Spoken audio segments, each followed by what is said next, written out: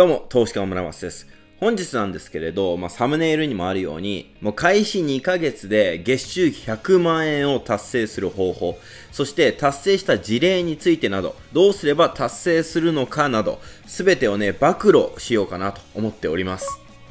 それでは本編に入る前にお知らせがございます。第3弾のステップンキャンペーン実施中です。えこちらご参加したい方は、ぜひ概要欄の方に参加方法載っていますので、そちらから見ていってください。それでは早速見ていきたいと思うんですけれど、今日の内容は、まず1つ目、稼ぐ力を育てよう。2つ目、給与所得以外で収入を得る方法。3つ目、なぜ稼ぐことが重要なのか。そして最後にまとめとして最短で稼ぐ方法、こちらを紹介して終わりたいなと思います。それでは早速1つ目から見ていきましょう。1つ目、稼ぐ力があれば、ぐっとファイヤーに近づく。えー、まず、ファイヤーとは何ですか？ファイヤーとは経済的自由を手にすることで、資産所得が生活費を上回った状態のことを言います。稼ぐ能力が高い人は当然、資産を早く多く残すことができます。つまり、普通の人よりも早く、働かなくても生きていけるというお金持ちゾーンへ到達することができるのです。では、例えば30歳の人が副業で月に10万円稼げるようになるとします。すると、年間で120万円。20年で約2400万円貯まるということですね。ただ、普通の人は収入なんてそんな簡単に増やせないでしょと諦めてしまいます。ですが、この動画を見ているあなたは本当にラッキーです。なぜなら収入をアップすることは今からあなたが学んで行動すれば誰でも叶うからです。そしてその学びの場は私がこれから提供していくのであなたはそれを行動だけすれば確実に収入を増やすことができます。それでは早速基礎知識からおさらいしていきましょう。稼ぐための基礎知識。まずほとんどの人がやっている労働で得られる収入というのは給与所得と呼ばれています。まあ、いわゆるお給料のことですね。メリットとしては、雇われて働くことで、時間と引き換えにある程度のお金が得られる安定性が特徴です。毎月決まった金額が得られるので、生活費を確実に確保するには向いている所得です。ただし、デメリットとしては、給与所得だけでは税金をコントロールしにくい点や、働く時間や場所に縛られてしまいます。給与所得だけで FIRE を目指すのはとても難易度が高いと言えるでしょう。では早速、具体的に給与所得以外で収入を得る方法を見ていきましょう。まず1つ目、背取り。背取りとは安く仕入れて高く売って差額で儲ける商売です。お店やネットショップで仕入れた商品をネットで販売する。個人規模の小売ビジネスです。メリットとしては、スマホ1つで始められて、高度なパソコンスキルや専門知識も不要なので、再現性が高いことです。成功体験を手軽に得られるという点ではおすすめです。ただし、デメリットとして、まあ、センスや目利き力に自信ある方はもってこいの商売だとは思いますが、正直コツをつかむまでは利益商品を見つけるのに手こずるかもしれません。また、リサーチ、出品、梱包、発送作業など、自分で全てやるとなると作業量が多いのになかなか稼げないと負担に感じてしまう方もいるかもしれません。では続いて2点目プログラミングです。副業だけではなくフリーランスなど何かと融通の利くスキルです。まだまだプログラミングができる人材は少ないためフリーランスになることで購入収入を狙いやすく非常に需要も高いです。まあ、メリットとしてはフリーランスになることで高収入を狙いやすいというのがメリットですただし、デメリットとして、ある程度のところまで行くと、幅広い知識とか技術レベル以上に、相手のやりたいことを汲み取るコミュニケーション能力なども必要とされるため、技術力プラスアルファが求められるため、向き不向きが非常にあります。さらに、一定レベル以上のプログラマーは引く手あまたですが、そのまずレベルに達するまでかなり大変なので、本業にするのであればおすすめですが、副業としては正直あまりお勧めできません。では続いて3つ目、YouTube。なりたい職業ランキング1位の YouTuber ですね。ヒカキンのようにエンタメ系からビジネス、学び系、日常生活を淡々と流す系、ま、ゲーム実況系など、まあ、様々なジャンルが出てきています。まあ、メリットとしては皆さんもご存知のように、もう好きなことを仕事にできるというのはすごくいいことですよね。ただし、デメリットとしてはもう YouTuber はもうレッドオーシャンになりつつあり、収益化するまでのハードルがどんどん高くなっています。YouTuber の主な収入源は広告収入なんですが、現在動画内に広告を掲載するには登録者が1000人以上、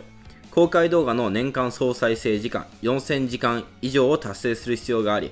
YouTuber で稼ぐ上で最小難関と言えるでしょう。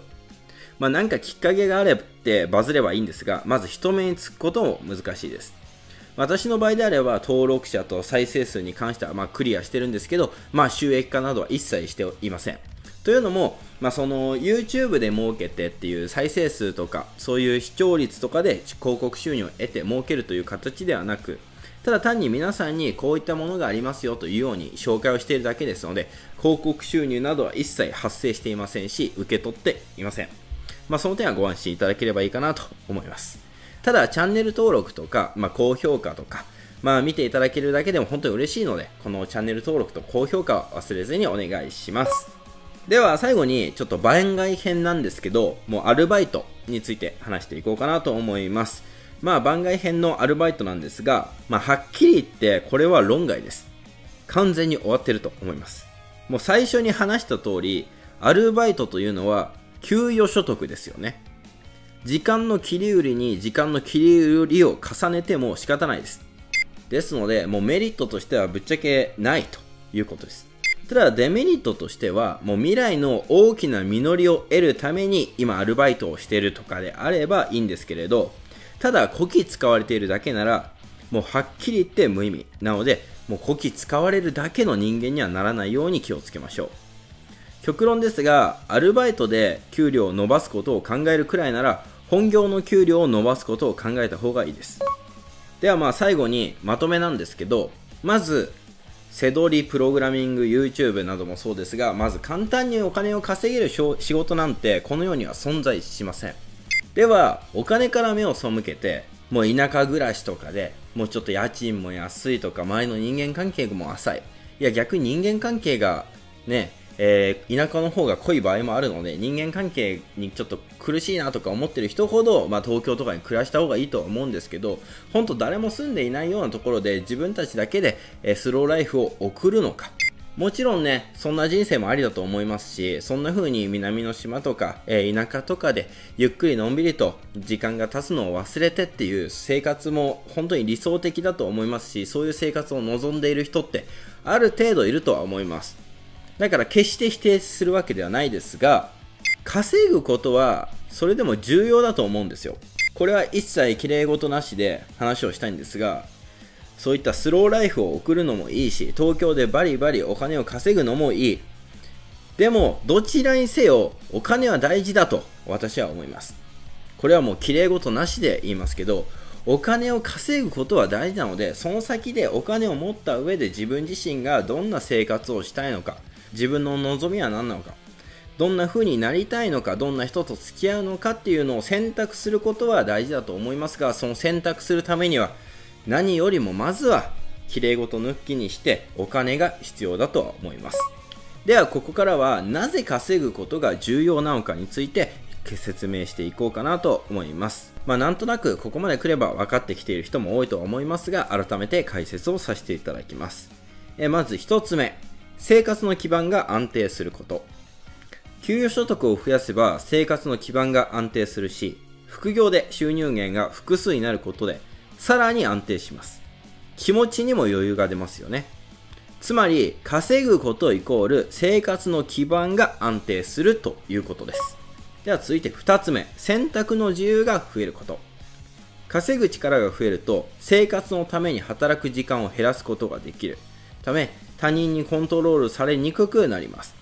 まあ、具体的に言えば、お金のために理不尽な要求を我慢したり、嫌いな人と付き合い続けたり、苦痛で仕方ない仕事を続けたり、残業や休日出勤をしたりする必要がなくなります。つまり、自分の人生の主導権を自分で握れるようになるということです。では最後に3つ目、自分に自信がつく。これは特に副業で収益化できた時に実感することだと思います。給与所得は自分の成果と報酬の結びつきが弱くて分かりにくいですが、自分で何か稼ぐということは提供した価値と報酬がダイレクトに結びつくためより成功体験を味わうことができるでしょう。以上3つがまとめとなります。まず1つ目生活の基盤が安定する。2つ目選択の自由が増える。3つ目自分に自信がつく。この以上3つの理由からなぜ稼ぐことが重要なのかというのがお分かりいただければいいかなと思います。ではここからは稼ぐことが重要なのは分かったしいろいろな副業の種類についてまあ例をいくつか紹介してご理解できたかなと思うんですけど結局何が言いたいのかと何かしら変わらなきゃいけないのは分かったけど村松結局稼ぐにはどうすればいいのか一つ一つ説明してくれと思う方も多いと思いますのでここからは結局稼ぐにはどうすればいいのかについて最後に徹底解説をさせていただきたいと思います。ここからが非常に重要な内容ですので、最後まで聞き漏らしのないようにお願いします。結局、稼ぐにはどうすればいいのか。稼ぐならバイナリーオプション一択だと思ってください。まあ理由としてはここでは話しきれないぐらい多いんですけれど、まあシンプルに言ってこの3つです。まず1つ目が少額からでも始められる点。えー、基本的な入金金額はまず1万円からスタートができますし、えー、始めた段階で今なら5000円のボーナスがつきますので、もう始めた段階だけでとりあえず5000円プラスと思っておいてください。そしてその5000円だけでも1000円トレードとかを繰り返し5回まではできますので、そこで利益が出れば、え出金することもできますので、もうとにかく始めてみてもいいのかなというふうに思います。まあ、始めない、始めることでのデメリットってほとんど感じないと思いますので、まずは始められる、始めてみていただければいいかなと思います。で、まあ、ルール、シンプルなんですよ。まあ、FX とか株とか、まあ、仮想通貨とかであれば、ちょっとまあ取引所を開設したいだとか、あとはどこで購入したいとか、どこで売ったりだとかっていうのも非常に難しいかなと思うんですけど、バイナリオプションの場合であれば、もう上がるか下がるかだけを予想して、で、出金と入金のルールも非常にシンプルなので、これはかなり、えー、投資初心者が始めるにはいいのかなと思います。では最後に、これは独自の意見なんですが、バイナリーオプションをやる場合であれば、投資ではなく、もう仕事だと思います。仕事イコール安定収入のことですね。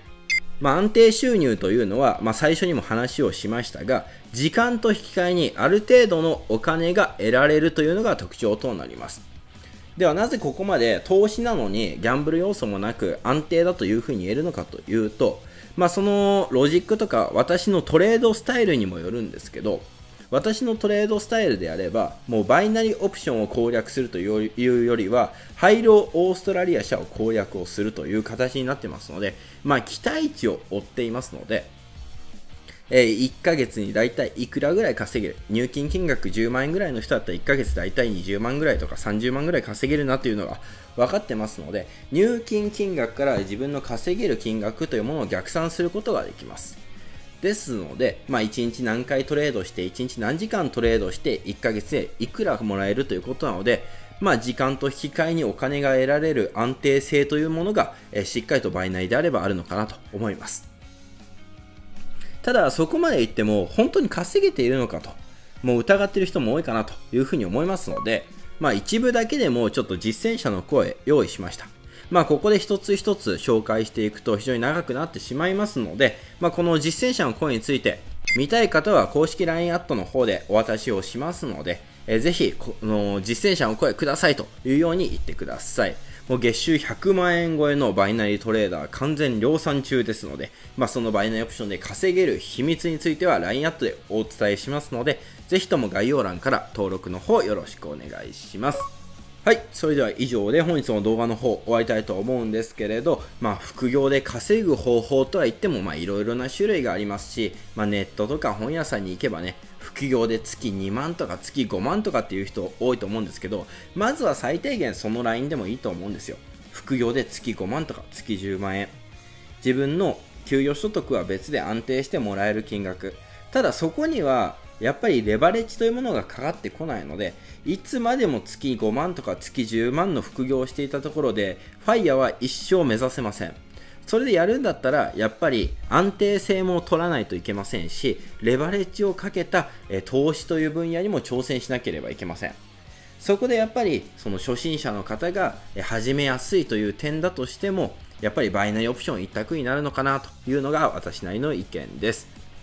では、そのバイナリーオプションで稼ぎたいとか、実際に稼げる秘密がより具体的に知りたいという方は、えこちらの概要欄から、え私の LINE アットの追加よろしくお願いします。